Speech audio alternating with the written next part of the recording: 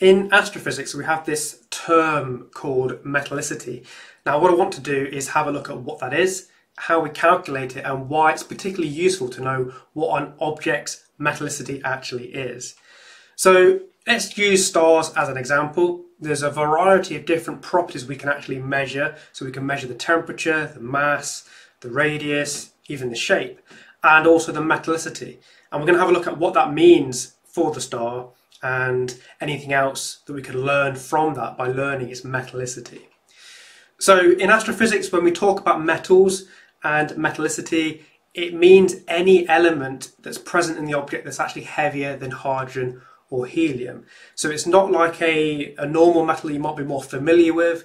A metal is just something that is heavier than hydrogen or helium, or an element that is actually heavier than that, which actually accounts for most other things although hydrogen and helium are actually the, the most abundant elements in the universe. So nearly all matter in the universe is hydrogen or helium, and then anything else we would consider to be a metal. And when we look at the metallicity, that's going to be like the ratio, the fraction of the object that is not hydrogen or helium. So these heavier elements that again are not the hydrogen, not the helium, these are created in the cores of stars and supernovas. And this is you got the fusion happening in the core, which is fusing those lighter elements into the heavier elements. And then during the supernova explosions, they're energetic enough that you get these heavier elements being produced. So this is where they're actually formed. They don't just exist in the universe. There's a process that goes through that is going to actually generate those. And that is important with regards to the universe and its evolution because it means that the very first stars that formed, there wasn't those heavier elements around at the time. So those are going to have a lower metallicity because they will have lower metals in them.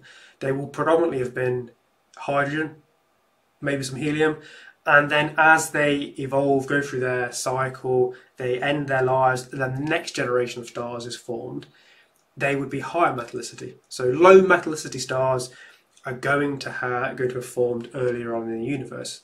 If they're still around now, it's likely that they are quite old stars. So, as we mentioned, these low metallicity stars they're normally associated with the early universe.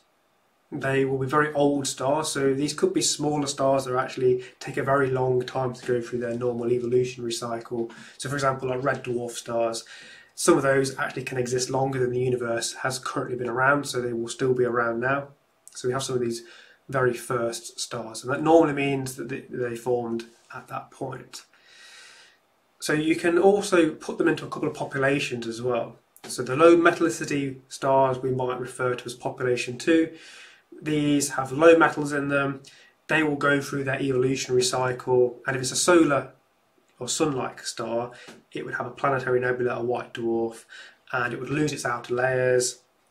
And then from that remnants left behind, you would get your next generation of stars forming, and that would naturally have a higher content of metals in them because they were produced from the first generation of stars.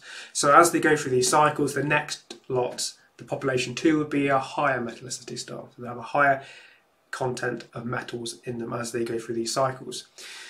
Now, there's a few ways you can actually express it or calculate it or show it, really, so that you can have the mass fraction, you can have the chemical abundance ratios, or the photometric colours, which we'll have a quick look at how you do that. So, the mass fraction is pretty much a fraction of the mass in the star, and it's given by this really simple equation at the top. So, the mass fraction of hydrogen plus the mass fraction of helium plus the fraction of any of the other remaining elements, which would be your metals, would equal 1. So to give you an example of that, this is what it is for the Sun. So at the surface of the Sun, the mass fraction is about, or just under 74% of it is hydrogen. Just under 25% is helium. And then just over 1% is the remaining metals. So it's, it's only a small content of metals because it is still predominantly hydrogen, and most stars are still going to be predominantly hydrogen, and you get more of these produced as go along. And also, a lot of the metallicity in stars is compared to the sun as well. So if we have this as a standard, we can then compare You know, is it lower metallicity, higher metallicity when we look at another star? And the other one is chemical abundance ratios.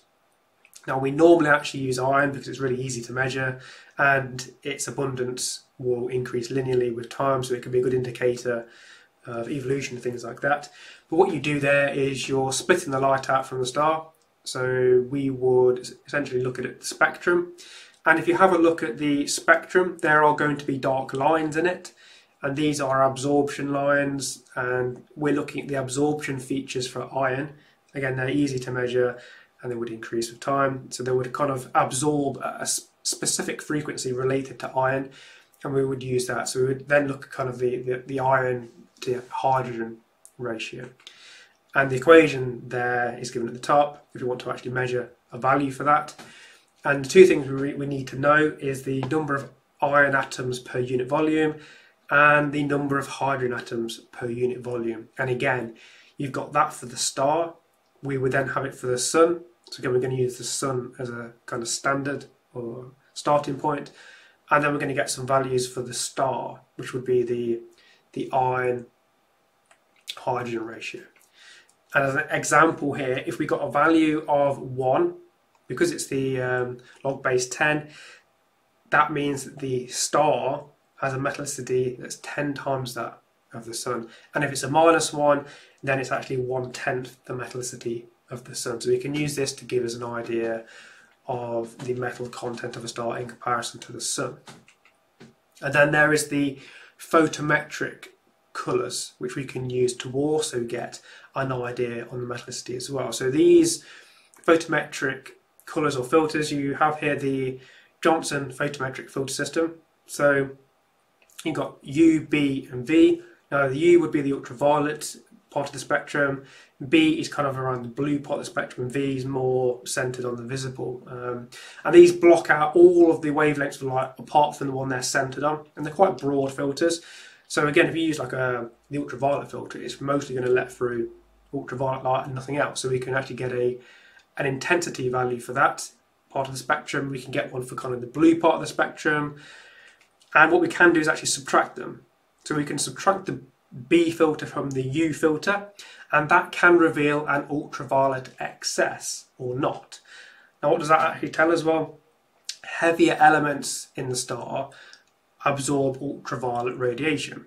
So if you've got heavy elements there and they're absorbing ultraviolet radiation, an excess in the ultraviolet part of the spectrum would suggest that it is a lower metallicity because it doesn't have those heavier elements there to absorb it before it gets to us.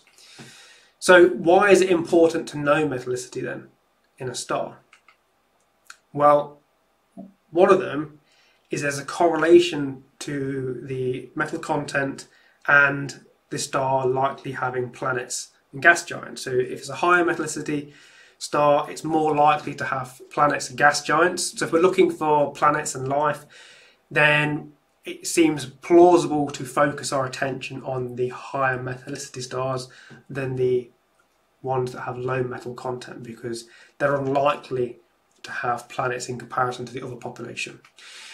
So two stars of the same age and mass, the lower metallicity one would actually appear bluer than one with a higher metal content, which would appear a bit redder. And then the other one, as we mentioned before, to do with this ultraviolet radiation. So a low metallicity star is likely to emit more ultraviolet radiation because it's absorbing or not absorbing from the heavier elements. So you get more ultraviolet radiation being emitted. And that has implications for things like planet habitability. So if you've got more ultraviolet radiation being emitted and, making it to a planet, that's not necessarily going to be favourable for making it habitable. So that's another thing to consider as well. So thank you for watching, and if you enjoy, then check out some of the other videos.